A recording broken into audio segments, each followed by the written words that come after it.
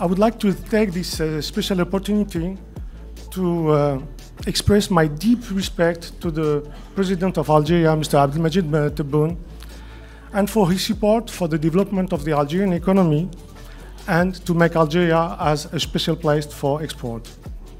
In this respect, I would like to uh, share my deep uh, conviction that we need to work hand in hand to, to try to achieve this special goal.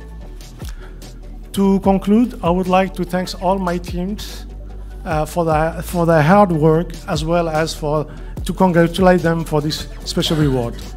Shukran.